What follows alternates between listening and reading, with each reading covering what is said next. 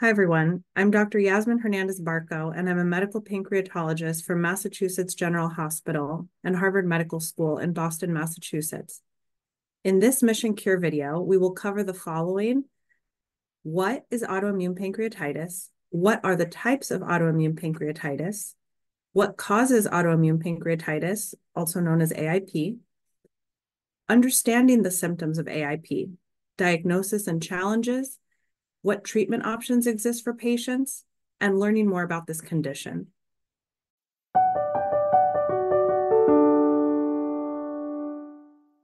Autoimmune pancreatitis is a rare chronic fibroinflammatory condition of the pancreas.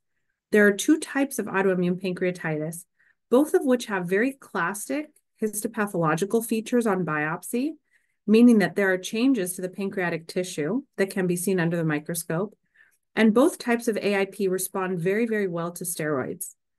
Autoimmune pancreatitis is considered a very rare form of pancreatitis with various symptoms, which can include acute pancreatitis, weight loss, nonspecific abdominal pain, and frequently painless jaundice, which can mimic pancreatic cancer and must be carefully evaluated. Simply put, autoimmune pancreatitis is caused by a dysregulation of the immune system at the level of the pancreas.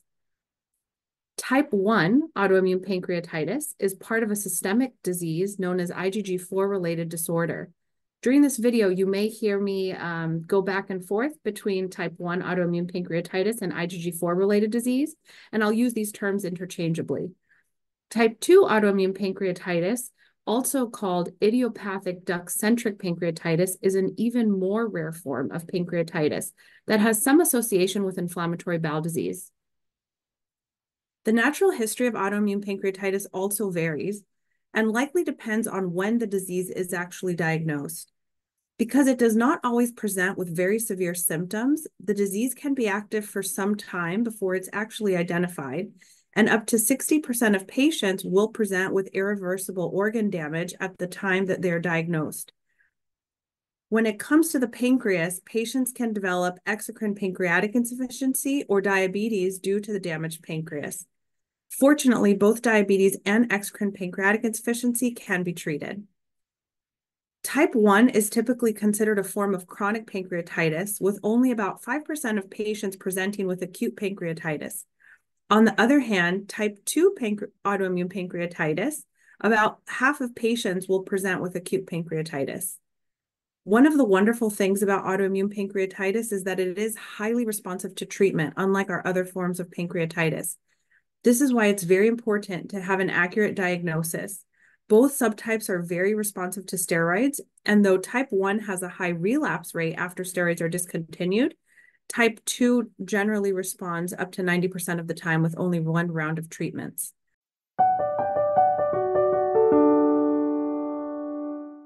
Type 1 AIP is the pancreatic manifestation of IgG4 related disease.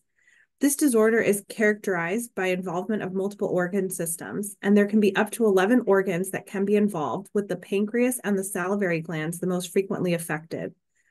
This occurs because there's an abnormal interaction between several types of immune cells in the affected organ, which can lead to damage and fibrosis or scar tissue formation, which is very characteristic of the disease. And this is why prompt identification and treatment are important because we hope to prevent ongoing damage and prevent long-term um, complications. Type 2 autoimmune pancreatitis, as I mentioned, is known as idiopathic duct-centric pancreatitis. It is considered a pancreas isolated disease, though about 30% of patients will also have inflammatory bowel disease. Autoimmune pancreatitis is very rare. About one in 100,000 individuals have autoimmune pancreatitis, with 80% of those patients having type 1.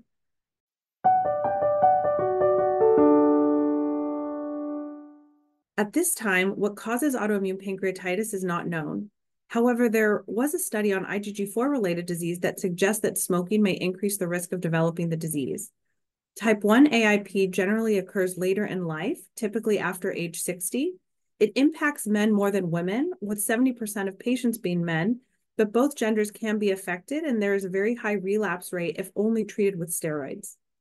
Type 2 autoimmune pancreatitis, in contrast, typically affects younger patients with an equal gender distribution, And it has an incredibly low relapse rate with less than 10% of patients relapsing after a successful course of steroids.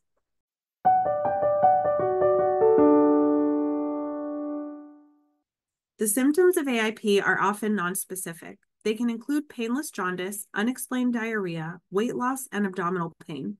Any of these symptoms should prompt imaging with either a CT scan or MRI. The most common presenting symptom for type 1 autoimmune pancreatitis is painless jaundice, and this is highly concerning for pancreatic cancer. And if a patient has this symptom, they should be evaluated for cancer with an endoscopy as soon as possible. It is important to remember that AIP is a rare condition, and other condition and types of pancreatitis should be excluded first. Other common symptoms are acute pancreatitis, which occurs commonly in type 2 AIP, and the acute pancreatitis should be managed as other forms of pancreatitis with IV fluids and analgesia. Abdominal pain, weight loss, and changes in bowel movements can also be present and should be carefully evaluated by your provider to determine if it is related to AIP or another condition.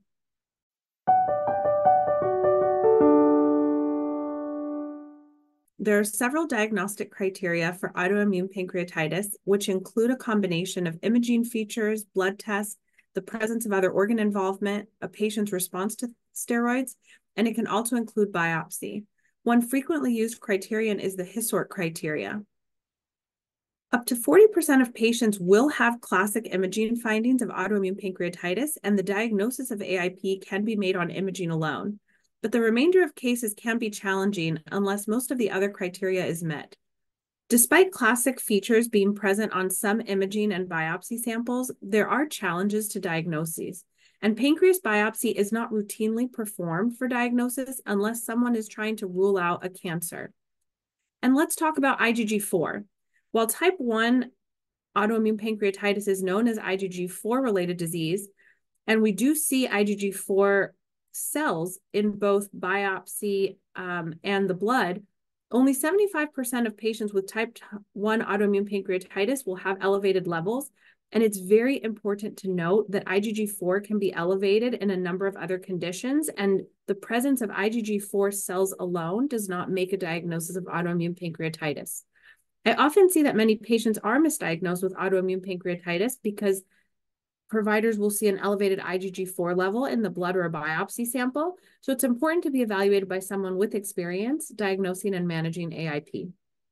Finally, as I previously mentioned, AIP can mimic pancreatic cancer, and it's important to ensure that pancreatic cancer is ruled out before making the diagnosis of AIP. And often an endoscopic ultrasound with biopsy is required to do this.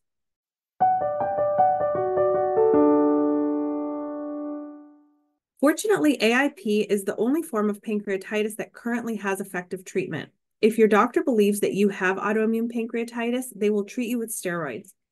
If you have type 1 autoimmune pancreatitis, it is important to know that there are other treatments, such as rituximab, that are effective in inducing remission and preventing a relapse.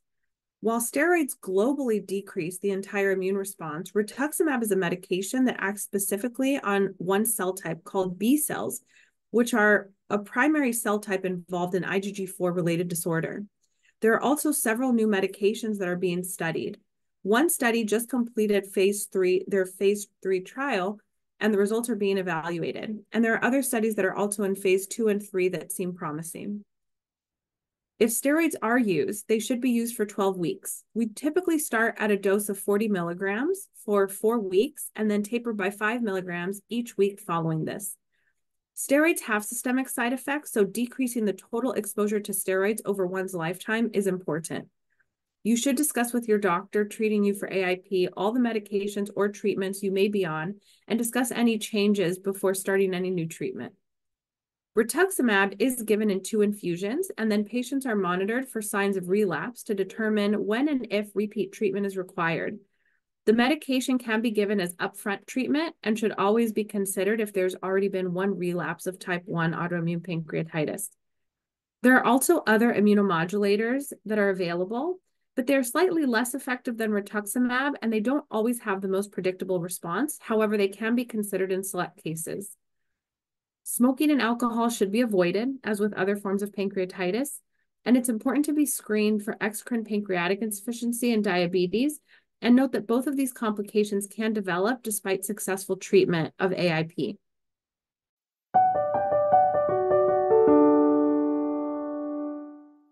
There's a new foundation called IgG4ward, which is a great resource to patients who want to learn more about type 1 autoimmune pancreatitis or IgG4 related disease.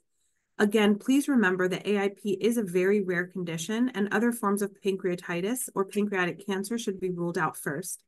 The diagnosis requires careful evaluation of clinical and imaging parameters as AIP can be misdiagnosed. However, there are very effective treatments that exist and more are understudied. So once you are diagnosed, it's important to get these treatments. It is important to follow up with a gastroenterologist, pancreatologist, or rheumatologist to screen you for potential complications. If you would like to learn more about managing pancreatitis and its related symptoms, please check out our other videos. Thank you so much for your time.